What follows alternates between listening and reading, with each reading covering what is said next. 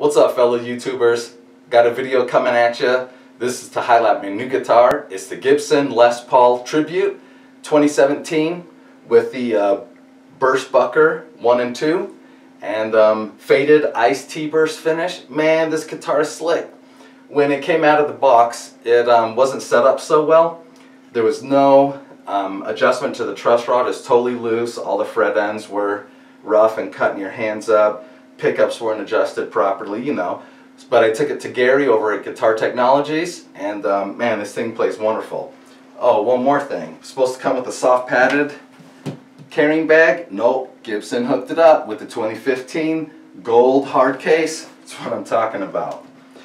So in this video, I'm going to plug in, I'm going to play some licks, show you some pictures of my gear, what I'm using, different settings to make it sound awesome, and um, hey, enjoy the show.